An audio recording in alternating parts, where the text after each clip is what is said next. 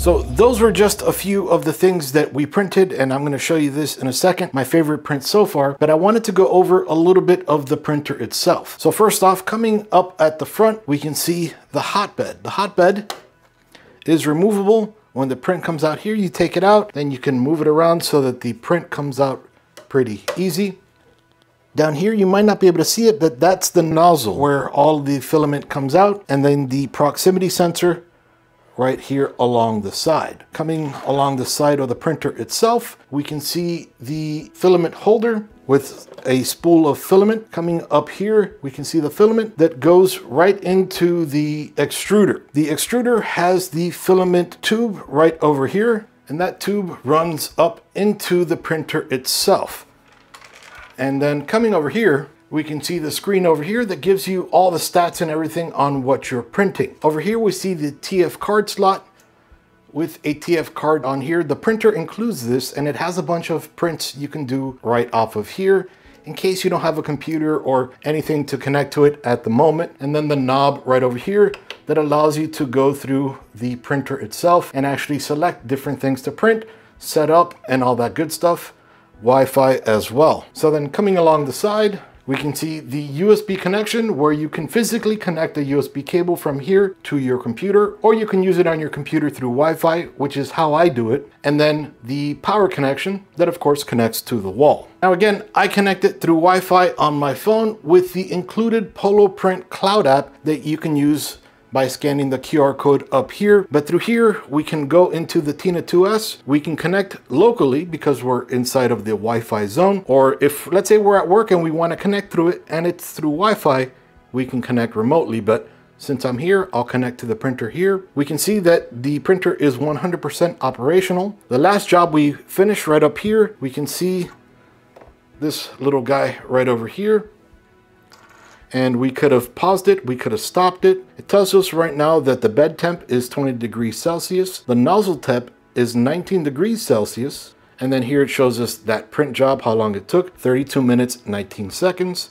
Over here under control, we can see a bunch of the different features and functions for the printer, XY axis, the XYZ axis, the level, and this already comes all level and everything. It's basically built already completely when you take it out of the box, which is awesome. File, as I mentioned, that TF card, these are all of the files that come inside of that TF card. So you can print directly from here, or you can print connected to your computer. And then right over here, info gives you some information about the printer itself. Now I'm going to show you real quick how I printed this. So on a PC, we need to utilize WiiBuilder for slicing. Once we load WiiBuilder, we'll click on the Wi-Fi connection here. We'll enter the IP of our printer and then we click connect. After it connects, it gives you all the information here and then you're able to adjust the X and Y axis, the Z as well, and it gives us all the information right up here. We're also able to upload prints, but I'm gonna move on from that just for right now. Once we've loaded that 3D model and we like it, we can move it around around. We can adjust the height and the width and the length and everything. And then after that, we can slice it. So what slicing is, it allows the 3D printer to know what this 3D model is and the 3D model to know what the printer is. So if someone designed it with a different printer in mind, now we can bring it into this printer and it's able to tell us all the temperature. And then over here, we can see that it will take one hour and 22 minutes to print, tells us the filament and all that information here. So that's incredibly important. You have to load the 3D print and then slice it. So then after you slice it, you come back over here into the Wi-Fi, then you click upload. That uploads that 3D print and then it gets it ready to print on the printer.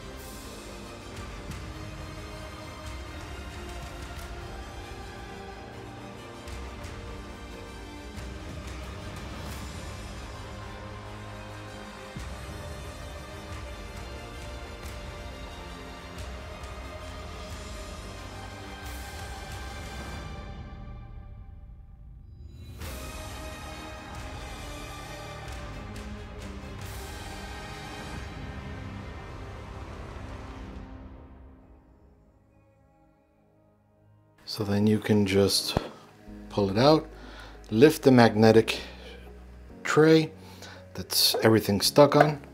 Just kind of sort of peel it off by bending the tray. You can hear the crackling. Okay. Even though they were part of the same print, they're separate, so I kind of aligned them within the software, and then you can just peel it off that base, and you can peel it off this base. Now, I don't know if this is gonna work right off the bat or if I need to peel this stuff off, but it's a little rough. Oh, but it goes in. And I'm okay with that roughness because that means it's gonna stay. All right, so that's all the way. Just gotta peel off all this fluff and that's that's pretty awesome. So let's try this in a system real quick. I'm gonna use this on the Intel Arc B580 graphics card. And uh, I don't know if it's going to sag but it's better to prevent the sag. That's so awesome. And then you can adjust it here and if you're good with AutoCAD and the likes 3D modeling, you can make your own and that is awesome. While I didn't make that 3D model, I did download the 3D model and I printed it off of that Entina Tina 2S printer and I made the GPU sag bracket as you saw before. It's awesome. It's a money saver. The printer is incredibly affordable. I had one of the original 3D printers way back in the day. Was over $1,500 and it was incredibly complicated to set up the levels, to set up all the different stuff. This came right out of the box, already assembled. I just had to take off little pieces of foam and then it just worked. It is amazing. It took me less than five minutes to set everything up. It worked amazingly well. So we printed this guy and then we also, well, we printed everything, but the last one I printed was this little model here. I asked, hey, what should I print? One person said, print this. One person said, print this. And it's awesome. Thankfully, everything worked great. You saw me print off of my desktop through Wi-Fi. It connected great. And then we also connected through the cell phone as well. And everything worked great as well. I printed this little hand from the software right on the